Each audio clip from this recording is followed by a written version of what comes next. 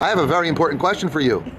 I'm looking at your menu and it says popcorn shrimp, but here it says that you're kosher. What's going on? Today we're going to Yumberry. Check it out. from the fake crabs. This is How fake about crab. shrimp and crab egg roll? Yeah, correct. Ay, gewalt. Glatt kosher, not kosher, it's a glatt kosher. Well, here it is. It's a mock shrimp. Um, so is it okay to eat a mock shrimp that's kosher? What do you think? Is that is this kosher? Forgive me. Forgive me.